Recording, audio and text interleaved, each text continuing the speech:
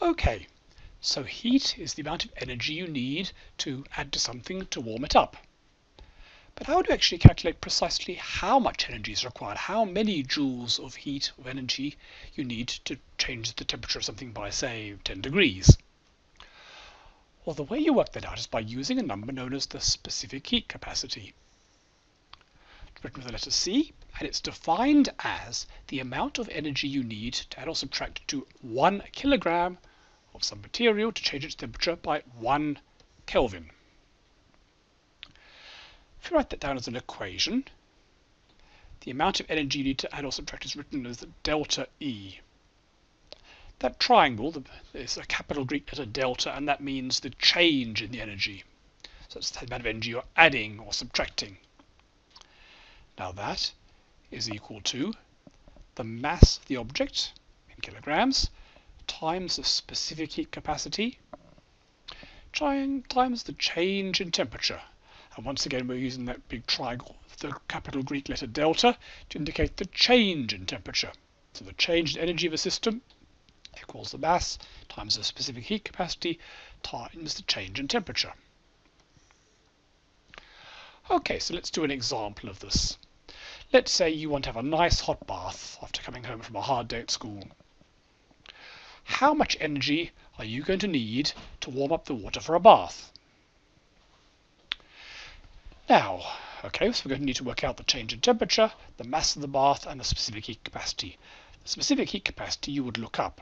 So for water, specific capacity is roughly 4,186 joules per kilogram per Kelvin. So that's the specific heat capacity of water. Look it up. Now what's the change of temperature?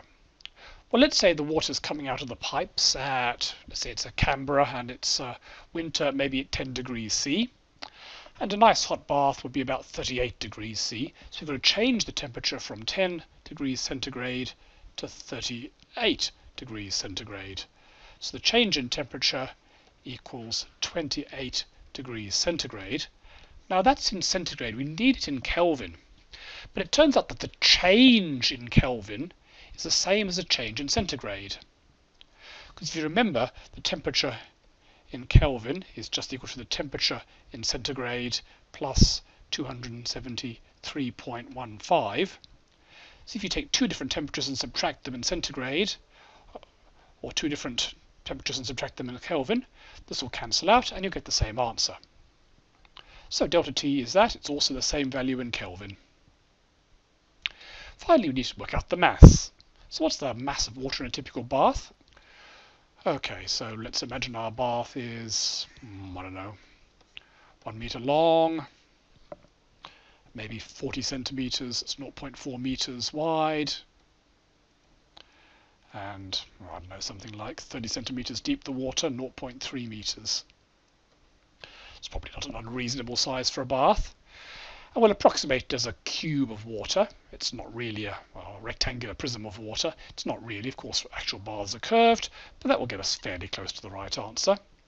So the volume is going to be roughly 0.4 times 0.3 times 1, which is equal to 0.12 cubic meters.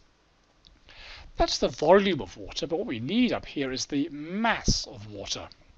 So the mass is just equal to the volume times the density, the Greek letter rho.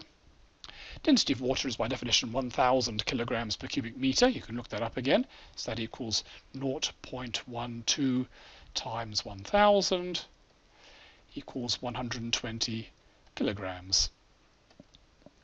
Is that plausible? Well, I mean, the water in a bath is pretty heavy. If you poured that much water into a bucket, it would be almost impossible to lift, but not totally impossible. That's about probably about the same as the weight of a big person, so that sounds like a reasonably plausible number.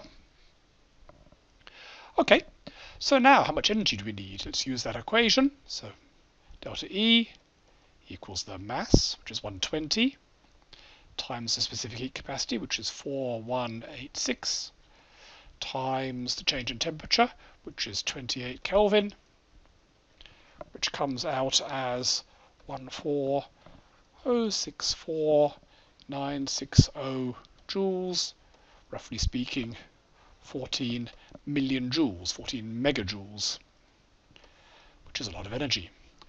That's why running a hot bath um, will bump up your energy bill quite a lot.